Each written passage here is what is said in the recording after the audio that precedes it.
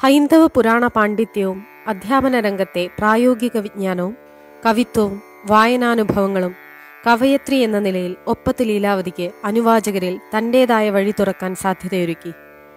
ഭക്തിഗാനരംഗത്ത് പ്രശസ്തരായ ഗാന സംവിധായകരുടെയും ഗായകരുടെയും പങ്കാളിത്തത്തോടെ തന്മയത്വമാർന്ന ഭക്തിഗാന സീഡികൾ പുറത്തിറക്കിയിട്ടുണ്ട്.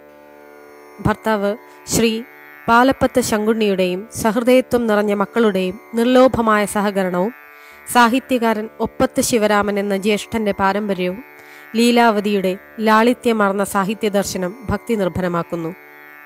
Kerala state service pensioners union Kongad ശാഖയുടെ സാംസ്കാരിക വിഭാഗത്തിനു വേണ്ടി കാവ്യ സദസ്സുകൾ ഒരുക്കുന്നതിൽ പ്രധാന പങ്കുവഹിക്കുന്നു. ലീലാവതി ടീച്ചറുടെ കഥകൾ നമുക്ക് ആസ്വദിക്കാം. ഇനി ഒരു ചെറിയ കഥ പറയാം കേട്ടോ. നിങ്ങൾക്ക് ഒരു ചെറിയ നല്ലൊരു കാര്യം പറഞ്ഞു തരാനുള്ളതാണ്. ഈ ദുര് മഹാഭാരത യുദ്ധത്തിൽ ദ്രോണാചാര്യരെ പാണ്ഡവരെയും കൗരവരെയും പഠിപ്പിച്ച ആയുധവിദ്യയൊക്കെ വസ്ത്രവിദ്യയൊക്കെ പഠിപ്പിച്ച ഗുരുനാഥനാണല്ലോ. അപ്പോൾ ദുര്യോധനൻ എപ്പോഴും ഒരു ആക്ഷേപമാണ്. എന്താ പാണ്ഡവരോട് ഇത്ര സ്നേഹം? ഞങ്ങളോട് ഇത്ര സ്നേഹമില്ലല്ലോ. ഞങ്ങളോട് അത്ര തന്നെ സ്നേഹമില്ലല്ലോ. എന്താ എന്താ പ്രശ്നം? ഞങ്ങളെന്താ? ഞങ്ങളോട് എന്താന്ന് ഇങ്ങനെ ഒരു അപ്പോൾ നേരിട്ടാണ് ചോദിച്ചു ഒരു ദിവസം. പറഞ്ഞു ഞാൻ കാണിച്ചു തരാനുള്ള ഉദാഹരണം എന്ന് പറയണേ എന്റെ പറഞ്ഞു തരാം. പറഞ്ഞു തരാം ക്ഷമിക്കൂ പറഞ്ഞു. അഞ്ചാൽ ദിവസം കഴിഞ്ഞ് അപ്പോൾ രണ്ടാളെയും വിളിച്ചു.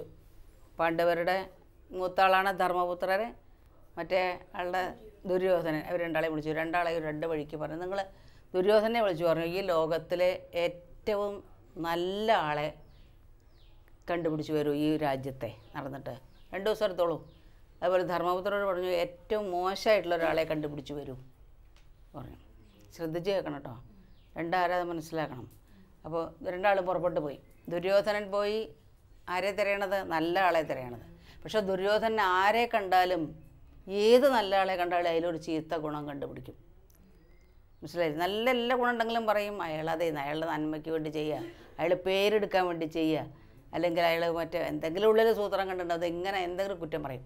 നേരെ മറിച്ച് ധർമ്മപുത്രരാരെ തിരയണത്? ചീത്ത ആളെ തരാം പക്ഷെ ധർമ്മപുത്രർക്ക് ഒരു ചീത്ത ആളെയും കാണാനില്ല. കള്ളനെ കണ്ടാലും വിചാരിക്കും ധർമ്മപുത്രർ അയ്യോ അയാൾക്ക് വിശന്നിട്ടാവും. അല്ലെങ്കിൽ അയാൾക്ക് എന്തെങ്കിലും വഴി ഉണ്ടായിട്ടായിരിക്കും അയാൾ എന്തുകൊണ്ടായിരിക്കും? പിന്നെ അതുപോലെ ദുഷ്ട സ്വഭാവമുള്ളവരെ കണ്ട അത് അവരുടെ ഒരു പരിതസ്ഥിതി ഉണ്ടാവും. അവരങ്ങനെ ഏത് വാസ്തവത്തിൽ അവരങ്ങനെയല്ല. ഇങ്ങനെ ഏതാളെ കണ്ടാലും അതിലൊരു ചീത്ത ഗുണം അയാൾ കാണില്ല. ധർമ്മപുത്രരും കാണില്ല. രണ്ടാളും നിരാശരായി മടങ്ങിയെത്തി. ദുര്യോധനൻ ഒരു നല്ല ആളെ കണ്ടില്ല. ധർമ്മപുത്രർ ഒരു ചീത്ത ആളെയും കണ്ടില്ല. അപ്പോൾ ഗുരുനാഥന്റെ അടുത്ത് പറഞ്ഞു ഞങ്ങൾ നിരാശരായി ആരെയും കണ്ടില്ല. അപ്പോൾ ഗുരുനാഥൻ പറഞ്ഞു കൊടുത്തു നീ ദുര്യോധനെ വിളിച്ചു ദുര്യോധന നീ എല്ലാവരിലും ചീത്ത മാത്രം കണ്ടു.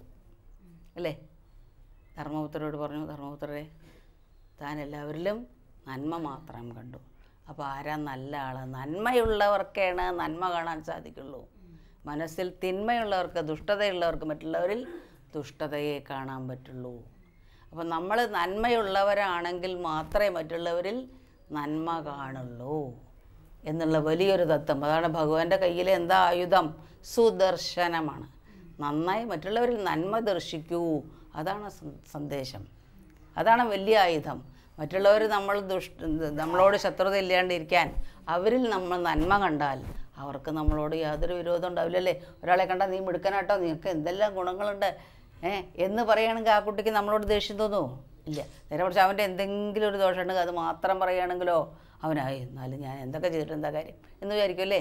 അപ്പോൾ നമ്മൾ എന്ത് ചെയ്യണം? മറ്റുള്ളവരിൽ നന്മ കാണണം. അവർക്ക് എന്തെങ്കിലും ഒരു നന്മ ഇല്ലാത്ത ആരും ഉണ്ടാവില്ല. അപ്പോൾ ആ നന്മയെ നമ്മൾ കാണണം. ദുഷ്ടതയെ നമ്മൾ മെല്ലെ പറഞ്ഞ് ചിലപ്പോൾ മനസ്സിലാക്കാം എന്നല്ലാതെ അതിങ്ങനെ പറഞ്ഞുകൊണ്ട് നടക്കരുത് എന്നുള്ള ഒരു കഥ ചെറിയൊരു കഥ നിങ്ങൾക്ക് പറഞ്ഞു തരാം അപ്പോൾ മറ്റുള്ളവർ നന്മ കാണാൻ നമ്മൾ ശ്രമിക്കാം അല്ലേ?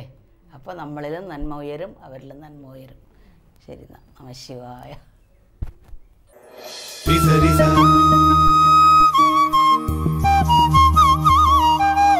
Peace,